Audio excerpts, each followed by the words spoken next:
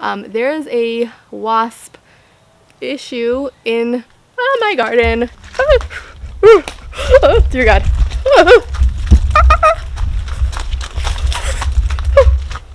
Okay, I think it's gone.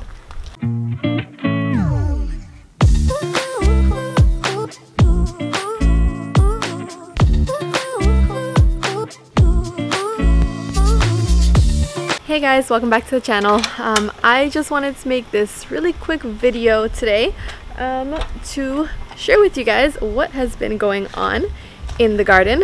Um, we have wasps. So it was about, let's say, whoop, there goes one now. Um, it was maybe like a week and a half ago, two weeks ago, um, I started noticing that we had some like flying insects going around. Now we've had a lot of pests this time in the garden this season.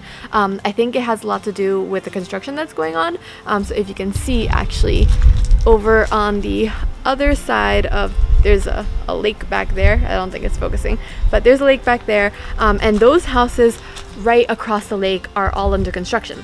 So in that construction process they've been ripping up everything and i think a lot of those pests and just flying insects have like made their way over to the side of the garden. And after i don't know realizing that there's a lot of pests there was i don't know like five or six wasps one day in the garden. So then of course when you have all of these um, different pests and flying things and you know things setting up shop in the garden you're gonna have predatorial insects that come and wanting to eat those things now, I am really allergic to um, a bunch of creepy crawly things, one of which is wasps and bees and ants and stuff like that. So I'm really allergic to them, um, but I'm going to leave them in the garden and here's why. Um, they are really beneficial for eating um, pests and aphids and just things that you know you don't want in your garden and this season the pests problem in the garden has just been off the charts.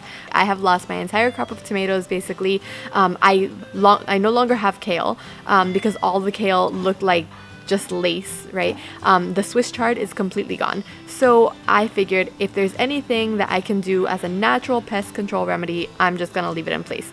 Now that's not always the best option because of course you want to be able to walk in your garden without getting stung. Um, you want to have you know your kids in the garden, you want to have your dogs and your animals and whatever around in your garden, um, and you don't want to have to worry about um, getting stung essentially and the pain and all the other stuff that comes with it.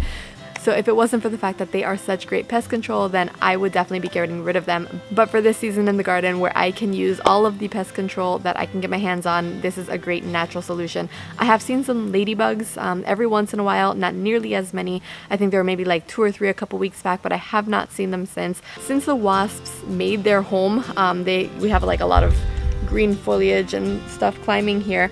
Since I've seen the wasps around, I have not seen nearly as many armyworms and cutworms. Don't get me wrong, we still have tons of them, um, unfortunately, but the wasps do seem to be doing a pretty good job um, at cleaning up the garden pests for the most part. Now, unfortunately, they did get here a little bit late because since um, the beginning of the season, the garden has been completely overrun with armyworms, cutworms, aphids, all of that stuff.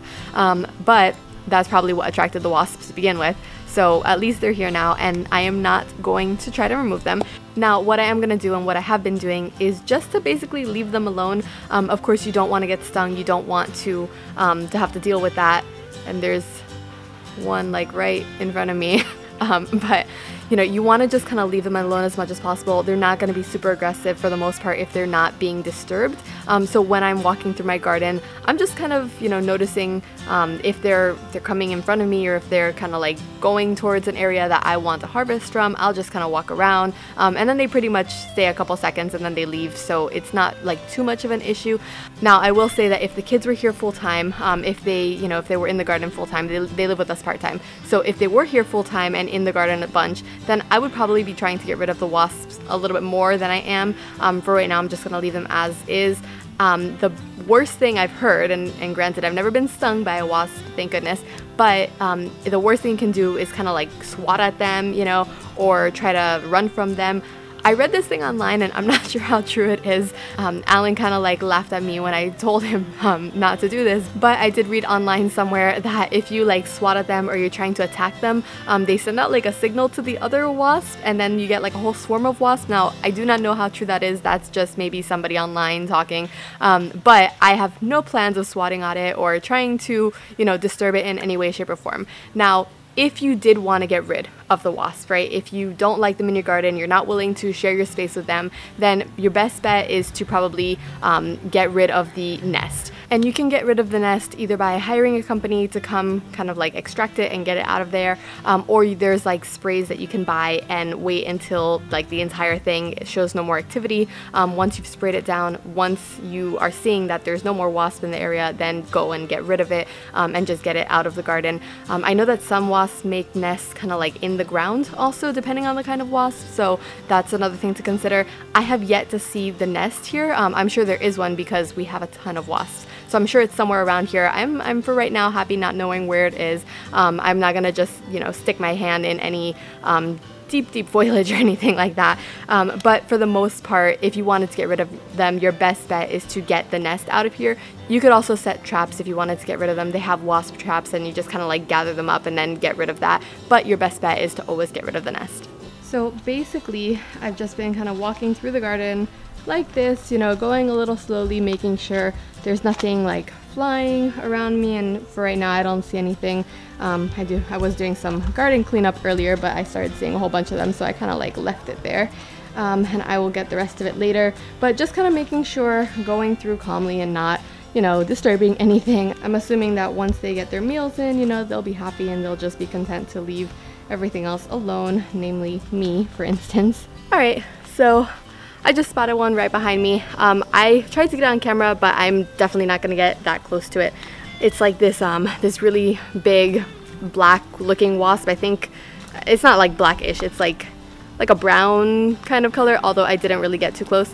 So yeah, I mean, for right now, I'm just gonna be living with it, um, letting them do their thing, trying to employ another permaculture technique in the garden, um, which is to allow all of the good beneficial insects make their way because if you get rid of them then there's going to be a whole bunch of other pests that come through. So just pretty much let nature take its course and we'll go from there. So I just wanted to share that that's what's been going on in the garden lately. Now um, I have yet to be stung and I'm trying to just let it play out as much as possible. Um, if you do want to get rid of them then those are the things that you can do. Um, but just be aware that once you get rid of the thing that's eating all of the pests a lot more pests are going to come through.